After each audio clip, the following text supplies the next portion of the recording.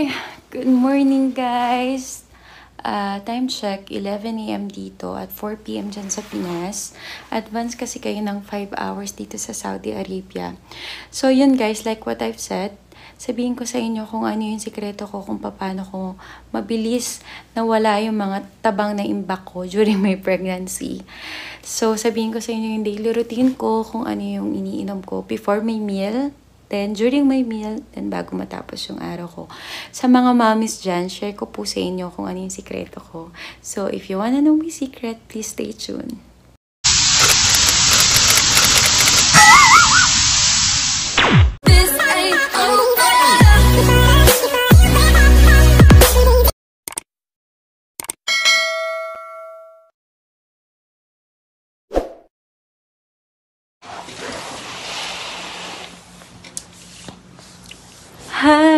Good morning, guys!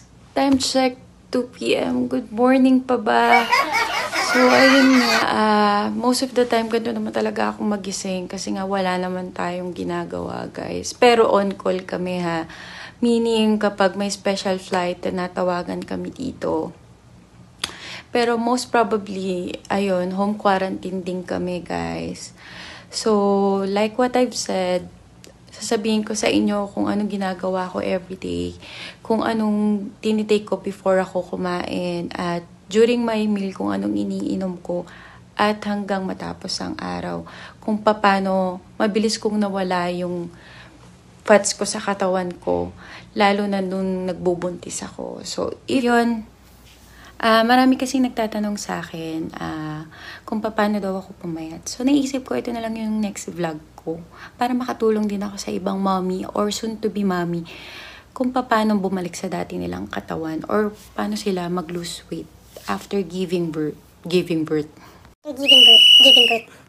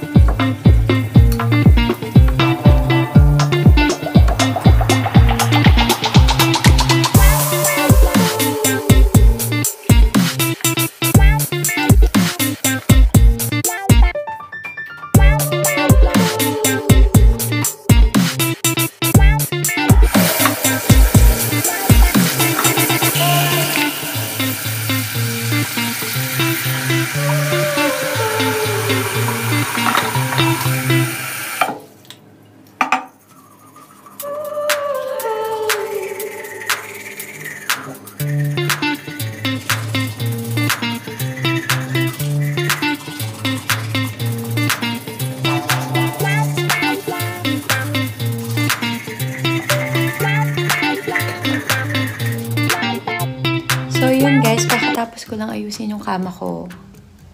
Ayan siya. At kakatapos ko lang din mag-toothbrush. Wala pa akong tinitake na anything. Uh, usually kasi bumababa agad ako. Tapos yun, iniinom ko yung sekreto ko kung paano ako pumayat. So, let's go down. Yan, diba tayo guys?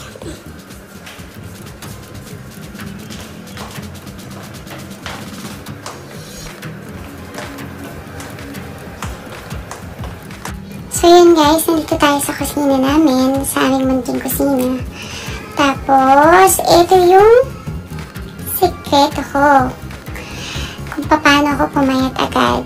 Tinitake ko yan, usually pagkagising na pagkagising ko sa umaga. Pero actually, late naman talaga ako nagigising. So, hindi naman siya umaga. so, ayun. Gusto niyo na malaman kung ano yan? Okay. You know, one, two,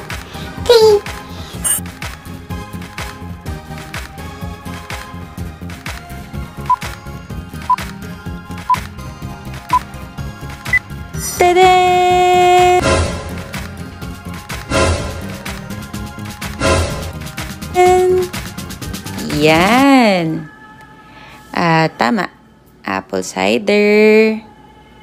Tapos, Himalayan salt. And kung wala kang Himalayan salt, ah, rock salt na lang. At, baso na may warm water. Room temp lang pala. So, yun guys, sabihin ko sa inyo kung paano yung ginagawa ko. Ayan. So, guys, ito, let's start. Start muna tayo sa apple cider. Actually, meron akong bukas nito. Ito siya. Nakakahiya naman kung ito ipakita ko sa inyo. So, parehas lang yan. So, 2 teaspoon ng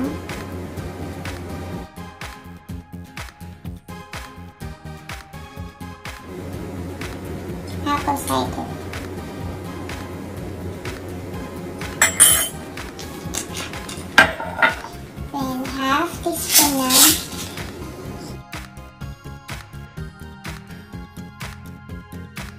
Himalayan salt or naman rock salt. Kung wala kayong Himalayan salt. Pwede rin rock salt. Guys, kaya nilalagyan ng rock salt or Himalayan salt kasi ah, nakakabili siya ng metabolism.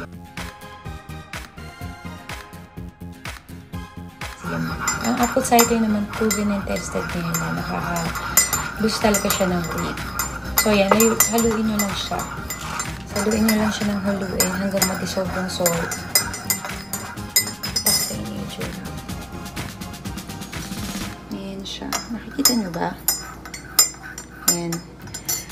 Mukha lang siyang kadiri pero effective yan guys. And take note. Sa tuwing iinom ako nito, gumagamit ako ng straw. Kasi protection sa sa ipin ko. Kasi ang apple cider, nakakarupo siya ng ipin. So guys, kung may straw kayo, gamitin natin.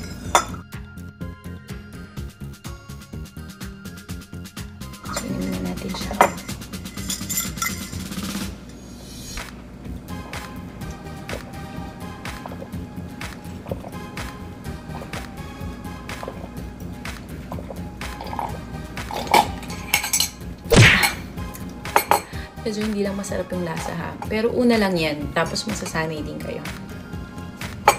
So, ayun guys, kakatapos ko lang uminom ng apple cider na may rock salt. So, after that, isang oras ang inaantay ko bago ako mag-take ng anything like tubig or ng pagkain ko. Habang kumakain ako, nagtitake ako ng lemon na may ginger or lemon na may spinach. Sinishake ko yun. So, ipapakita ko sa inyo kung paano ako nagpapakulo ng lemon na may ginger. Iniinom ko naman yun para naman pampaboost ng immune system ko. Kasi alam nyo naman guys, coronavirus nowadays. Kaya yun, kailangan tulungan natin ang ating mga immune system.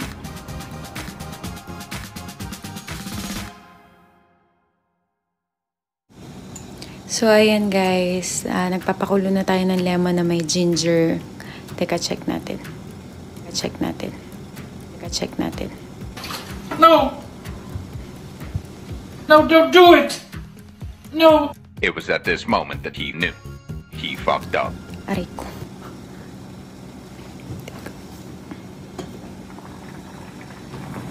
Yan. Lemon and ginger. Effective yan, guys.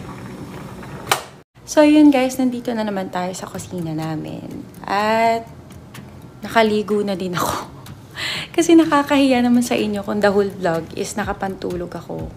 So, isang oras din yung inantay natin. Usually kasi ginagawa ko na yung mga kailangan kong gawin sa isang oras na pag-aantay ko after ko uminom ng apple cider na may rock salt. So, magpe-prepare muna ako.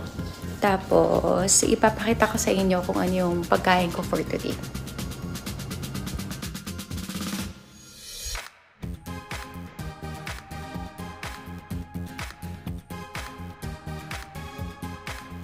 Guys, ipapakita ko pala sa inyo kung ano yung naging itsura ko during pinagbubuntis ko si Baby Zoe. from medyo maliit to becoming lumba-lumba. Ayun. Nanghingi pa ako ng mga pictures from different people kasi nasira yung cellphone ko. So, para yun, mapagsama-sama ko at maipakita ko sa inyo kung ano talaga yung naging itsura ko. Nanghingi pa ako. So, yun guys, kasi umabot ata ako ng 75 kilos. Imagine. Eh si mother, hindi naman siya long-legged para umabot ng 75 kilos. So, para sa akin, super, super overweight na talaga siya ng todo-todo. Dahil nga, hindi naman katangkadan si mother. So, ayun. Sana hindi kayo masuka pag nakita nyo itong mga pictures ko. Please, wag nyo akong i-judge. Buntis lang po ang mother niyo.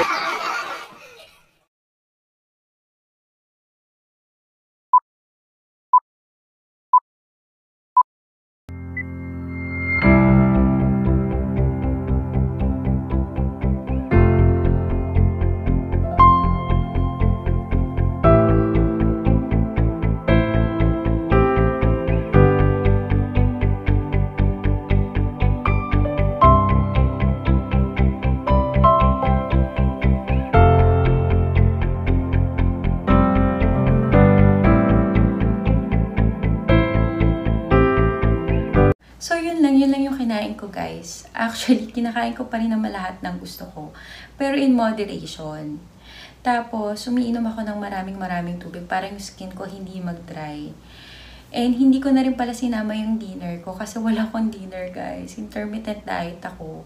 So, same thing, apple cider with din ako sa gabi. Yun lang din yung iniinom ko. Tapos, gusto ko lang din palang sabihin sa inyo na walang mabisang exercise or diet sa taong walang disiplina. Number one yan guys, hindi lang sa pagpapasexy or balik alindog program, kundi sa lahat ng aspeto. And sana nakatulong yung vlog ko. If you like my video, please hit the like button and subscribe to my YouTube channel and follow me to my Instagram account, Zoe Amiel. Thank you for watching guys. Keep safe!